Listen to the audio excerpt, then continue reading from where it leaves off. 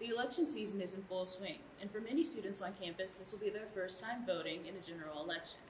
At a meeting on August 20th, the Nacogdoches County Commissioners Court approved a list of polling locations that did not include any on campus. They denied an earlier proposal to have a polling location on the second floor of the Student Center. Some, like Republican Chairman Bradley Reynolds, approved this decision because of the inconvenience, while others, like faculty member Lee Ann West, said that it was a way to disenfranchise students. So, what do our students think?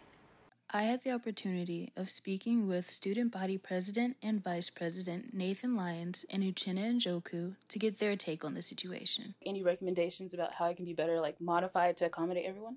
Yeah, um, well, that's a good concern to bring up mobility, right? Because we want to make sure that foremost we're ADA accessible, um, obviously, and second off, um, it's convenient, right? Um, so they have added the curbside voter option. Um, so uh, you can, if you'd like, pull into a curbside voting parking space, and you don't have to leave your car. Um, SFA is pretty ADA compliant, Mm-hmm. and so it's not. Those people who need it can definitely um, get here. Um, I believe the campus has been built in a way that accommodates everybody. So, do you think this could be a form of voter suppression?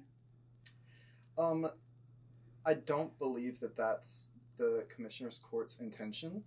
Um, whether it is an actuality, I'm not an expert um, on voting, to be honest. Um, so I don't think I could answer that.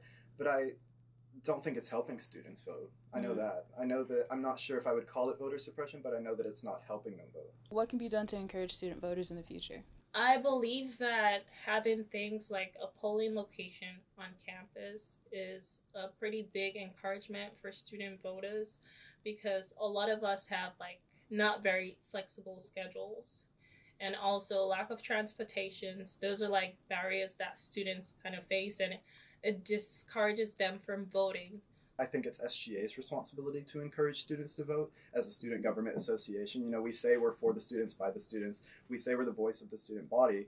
Well, I think it's also our responsibility, and I wrote it in uh, my executive order too. I don't know if you've seen that for the Get Out the Vote Commission. Mhm. It's SGA's current initiative um, to get students registered to vote.